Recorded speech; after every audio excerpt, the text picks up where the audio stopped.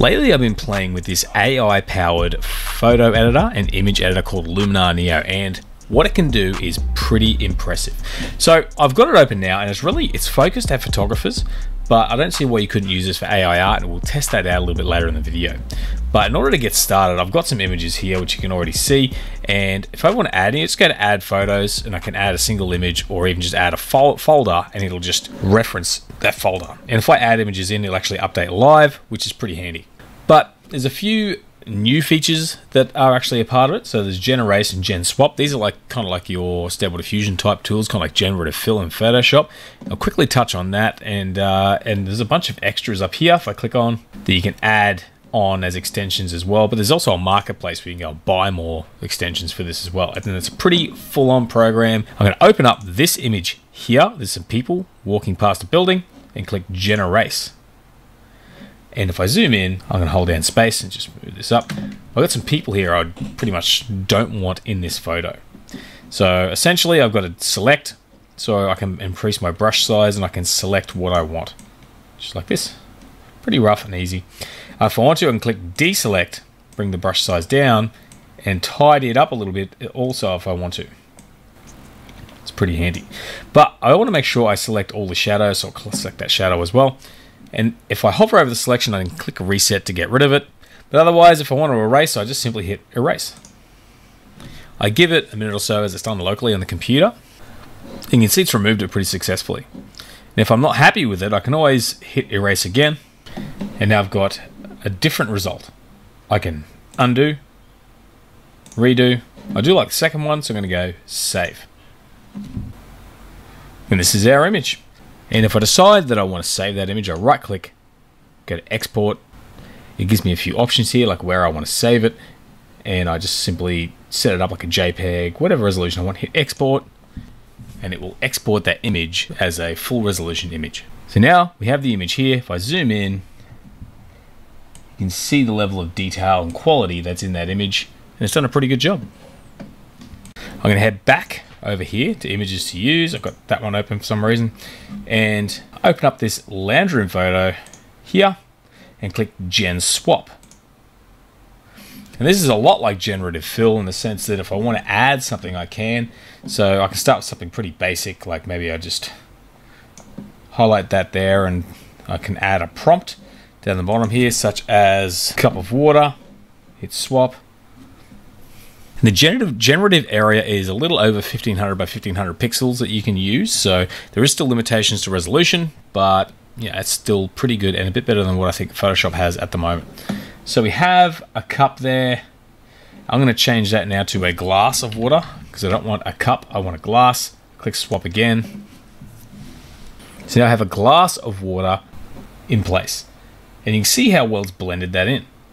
But I can also do something different. I'm going to reset the selection, draw here. Now type in cat having a sleep, hit swap. Now there's a pretty big cat having a sleep on that chair.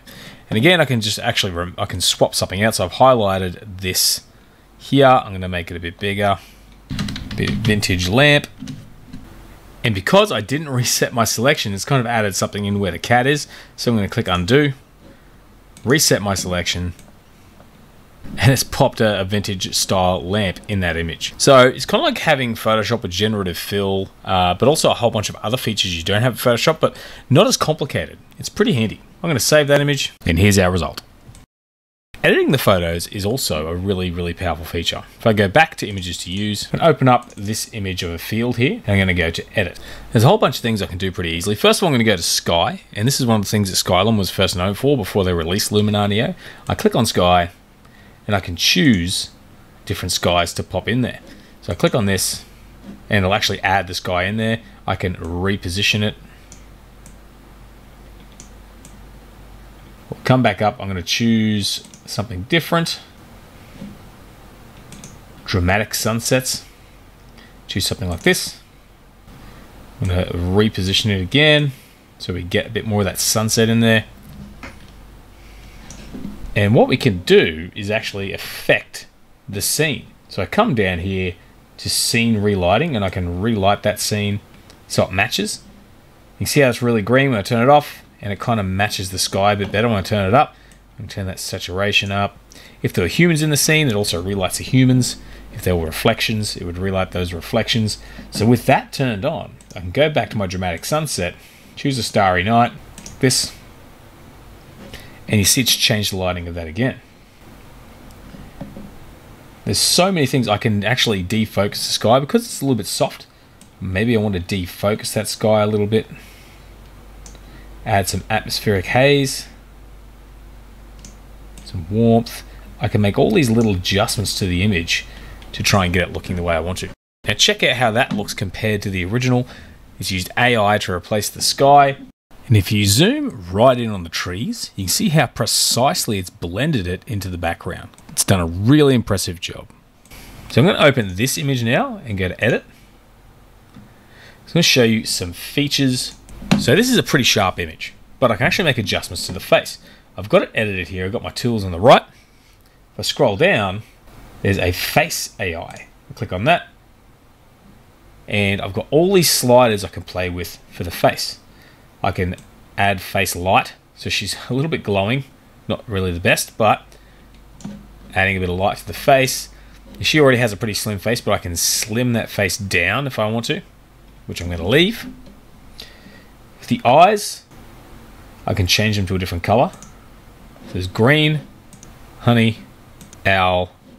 So I can change the color of the eyes, which is incredible.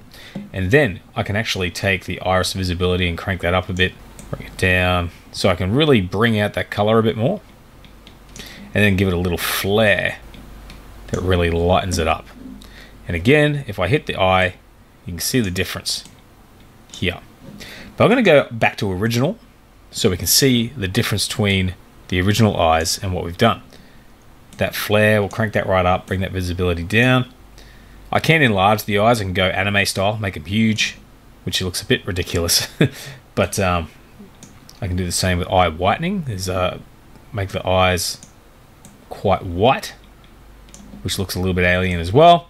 But if you've got images which do need a little bit of a little bit of a touch up, can be good. That flare's a little insane. We'll bring it down a bit. So again, before, after, there's an eye enhancer. I Crank that right up to full so you can see how it brings out those eyes. So you've got the ability to change certain parts. So we're just playing with the eyes here. If you've got red eyes, you can bring that down. If you've got sort of dark circles under the eyes, there's a dark circles removal. So if you look at this right eye over here, before, after we've removed the darkness from underneath that eye so it looks a bit more skin tone and if these eyebrows weren't very dark you could darken up the eyebrows so some pretty cool features there and then of course if you're looking to edit photos you've got a face AI with mouth so you can even have the lip saturation up. Which looks a little bit crazy again. Lip redness so you can get like an almost lipstick pink look. You can darken it up lighten it up. You can whiten the teeth. And again, you can put them side by side and really see the difference. But if we zoom in and look at the detail, you can see just how incredibly sharp everything is and how it's really brought those eyes and face to life just with a few of those options. And there's actually a whole bunch more we could cover, but I just don't want the video to go for hours. However, I also want to touch on the upscaler over here. I'm going to add in an image from Midjourney. So I'm going to go add image, now I've actually enlarged this image in the past with other programs. So I'm going to open this cat image here and I'll go back to my catalog. So this is a single image edit. So I'm going to click on this cat image and go to upscale. Drag the photo in there. I want to 6x that image and hit upscale. So now it's finished. A little folder has popped up here called upscale. So I'm going to open this image and it's been upscaled 6x. So it's going to be about 6,000 pixels by 6,000 pixels. I'm going to zoom in, and you can see it's actually done a pretty good job. I compare to our original, and you can see a big difference in just how pixelated it is on the left with the original and how sharp it is on the right with the uh, upscale. But I thought I'd try something else and throw my Topaz gigapixel upscale in the ring to compare those two. And you can see the difference here. The topaz on the right is, it's not quite as sharp, but it is, I think, a better quality upscale overall. And on top of that, I've also got a photo of me, which is 800 by 800 pixels of upscale that, so we can see what the difference is also just with a photo as opposed to AI art. And it's, pro- it's good for the AI art, but for the photo, I think it's blurred my skin a little too much. I've got this other image open in order to show you a few more cool tools that you can use to work on these photos. If I head to Skin AI, I can do Skin Defects Removal. And it will remove certain defects on the face. So I hold this down.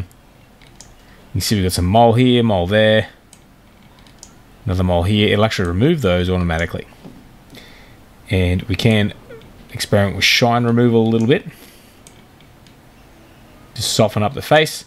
Doesn't do a great job in this image, but that's pretty cool.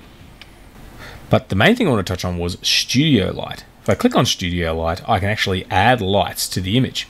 So I take this light here, she's got highly lit on the left, more of a shadow on the right. If I move this light to the right side, I'm going to zoom out a little, I can brighten this light up and move it around and it will sort of attempt to relight the subject. And it does try its best to use three, uh, like the three dimension, 3D dimension of the image. I can change the depth so it looks like it's being lit from above. Move to the side and I can play with some settings. I can bring that down a little bit to really focus on that side and change the smoothness. So you can see how it kind of has a gel-like effect. And if I move it back, it's a little less full on. And I can just kind of add lighting sources to the image. I can even change the color. You notice here, with the saturation up, I can change the color to a blue color. Bring that saturation back down. And just tone that down a little bit. And I've sort of lit that side of the face a little bit. Can move it in front as well and really light that left side. Because we've got competing light sources, it does look a little unnatural there, but I can also move and relight some areas here as well. What's really cool about it is I can add more than one source. I'm going to make this light here, I'm going to make it red, because you can make like a red light source from there. So she's kind of got a bit of a red light coming from the right side. And I can add another light. And this time I can make it, say, a green light. You can see the color here. I can move that green light off to this side, bring that amount up, and start to light from one side as well. I can bring that depth down, still play with that amount a little bit. But overall, we've been able to add some different light sources. Now, just accidentally added a light source, so I've gone into edits here to continue from there, and I can pump that up, move it around. But here's another cool thing is I'll take this red light, go to light customization, and I can give it textures such as shutters. So I can actually add like shutters as if there's a red light coming from some blinds. I can still crank it up, make it nice and bright. And notice if I do crank that up, how it contours contours with the face and you see where it disappears. It actually does use some AI to determine where that light would land. And the scale, as I said, I can change that scale. I can change it to dots or strips, and I can try other. So this palm leaf, all these other different effects I can add to the image. So vintage windows, bring that scale, bring that amount down a bit. And we can change the color again by adjusting the hue bring the saturation down in order to take some of the color out. So you can actually relight your images using studio lighting and it's actually pretty cool. Another cool thing when editing your images is you'll notice on the left we have layers. So I can actually add and subtract layers from this. I can go to the plus sign and find uh, an overlay or something to pop over the top of this image. I then choose something like this and I can resize it. I can add more if I want to. I can even go to plus and add my own image. And you can see it, it shows up as semi-transparent above the other two layers. I can bring it to full opacity, drag it underneath, and I'm going to resize it behind this image. Because what I'm going to do is click on the layer with the person in it, go over to my layer properties where it says masking, and I can go down to background removal. And when I click that, I simply give it a minute to go through the process and then you can see the main object, which is the person, is actually highlighted in red. That's to show what it's going to leave behind. And I can turn on or off various areas of the image, but does a really good job with cutting out people in the foreground. So when I've picked what I want in red that I want to keep, I come down and I press the remove button and it will actually cut that out and remove the background. And now that I have those different layered sections, I can go to the background, change the sky if I want to, so I get something that looks a little more interesting. You notice the reflection in the, in the water is a bit better. We make our adjustments so that it blends in. I'm also going to remove these overlays and just adjust the color of the person in the photo so it looks a little bit more natural. I can then export, review my results, which I think are pretty decent. I mean, it's it's not perfect. It's a very quick job, but it shows you just how much you actually have at your fingertips using Luminar Neo to edit and lay different layers of your photo together. Now, among these editing tools, you have a whole bunch of color adjustments, light adjustments, and even detail adjustments. If you look at the screen now, I'm going through a bunch of them at speed. You can basically go through and black and white images and control which colors are different sort of darknesses in that image. You can add and control the details of the image and adjust things like vignettes and really have a lot of fun with taking control of your image. There's so many features and I just can't touch on them all in depth. But uh, if you go through and have an explore, you'll see you can basically dramatize images and bring out a ton of detail. And it's just a matter of finding the op- the option you're looking for, sliding it around, and having a play with it. And of course, you can reset by hitting the little arrow button above each module and go back to where you started. And on top of that, if you choose an image, you can actually click on that, head up to presets, and you can actually explore a bunch of different presets that have been made, different layer effects, different color grades, and you can actually then choose which one you like and you can even save your own presets pretty easily. So you don't actually have to go through and do all the hands-on editing. There's a bunch of presets you can use straight away to get results pretty quickly with Luminar Neo now that was a lot to go through but it's an endless tool to explore so if there's anything that you want to see me cover in future videos covering Luminar Neo. I'm going to try and focus on a few key areas in the future and go a little bit deeper. But otherwise, leave a comment below with your thoughts or anything you'd like to see, and hopefully we can get a bit of time aside and work on really delving deep into those features. It's a really powerful program, and I highly recommend checking out. There's a link in the description below. It is a premium software, so you do have to pay for it. However, there is actually a lifetime purchase, so you can go down, choose a lifetime purchase, and never have to pay a cent again. I know that really appeals to a lot of you guys, but otherwise, um, I hope you enjoyed the video. If you did, please consider giving it a like. Otherwise, I hope to see you again soon. Have a great day, and once again, anything you want to see with Luminar Neo pop in the comments below. See you next time.